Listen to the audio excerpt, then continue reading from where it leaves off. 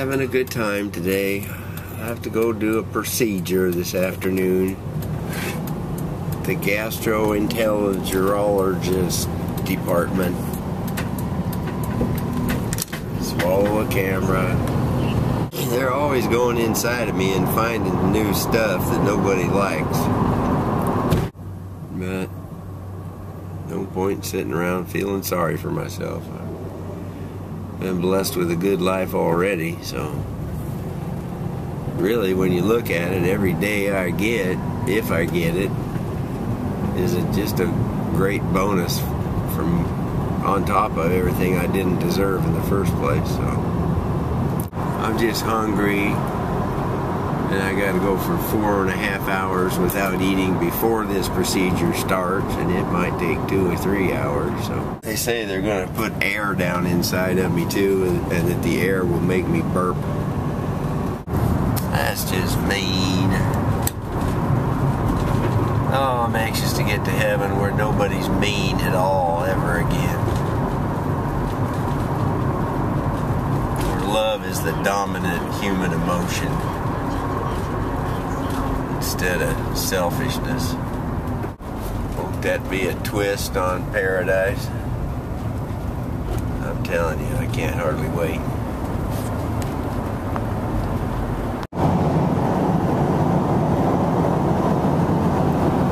We're in the army now.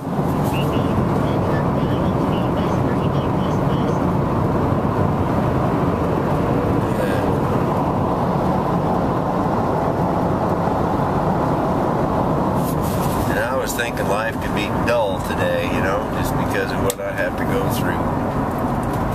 Got to jump on the freeway with the army there. Just when you least expect it, interesting stuff will happen in life. That's the way it works.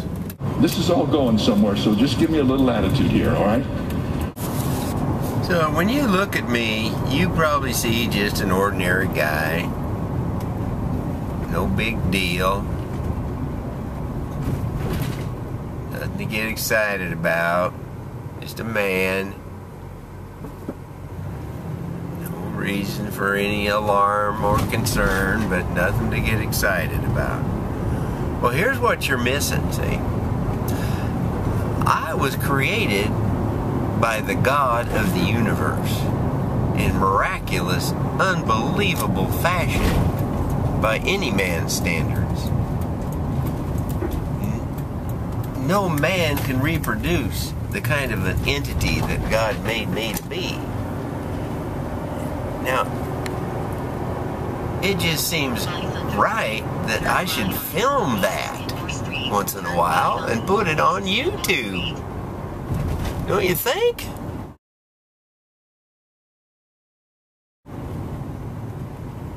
So here I am, vlogging along. You know, like I do. Assuming that one day me and God will not be the only one to understand the concept, and that maybe some of you people will watch a video or something. It could happen. Settle down. It could happen. These could be up there for centuries. We don't know. I haven't read the fine print on YouTube's storage, you know, policies or anything, but I'm just saying. If there's a possibility that someone might eventually watch one of my videos, then there might be some sort of a reason for continuing to make them. That's all. Now, I'd see the point that it would be good to just give it up. If someone were to make that about, say, a, a, a yellow bucket laying on the side of the road like that. It's just laying there, it's not doing anything. It hasn't got a whole lot of abilities. It doesn't understand. It can't articulate. It can't consider things and, you know, express its deepest heartfelt emotions about them to the public. It it's just a tub sitting upside down on a curb, okay? I would not say that it's probably a good idea, even if it's unique, the only tub like that. I would not necessarily say that we should put a video of that on YouTube every day. But when you have something as complex and intricate as a human being, my goodness, you ought to be sharing yourself with everybody. I think, well, I would not criticize the Lord. He knows more than I do. But it just would have seemed like a good idea if he'd have decided to make everybody be born with a flip cam in their hand. You know, to me. Now that we're in the YouTube era and all, you know. You're entitled to your opinion too. That's okay. I don't mind. It's fine. This is the way I'm looking at it today. So there.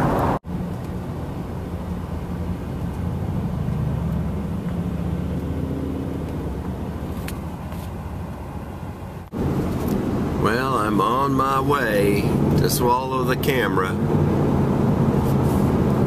It's pretty exciting stuff, you know. Just wait till you're an old man and you can do stuff like this too. Because it's pretty amazing. I'm, I'm not kidding around here. Uh, they will give me stuff to keep me from gagging and all kinds of junk, you know. Who knows? They may get down there and see something that says, hey, we got to have a better look at that. And they may send a couple, three more cameras and some bigger lights or something down, you know. Maybe a fire hose to wash things off so they get a good picture. I don't know. And after all that fun and games, that's not even the real excitement of it. They could get in there and find something wrong with me. I'm kind of figuring they'll probably find something ugly and unusual when they go in there. That's just what I'm used to. But they said it could even be cancer of the stomach.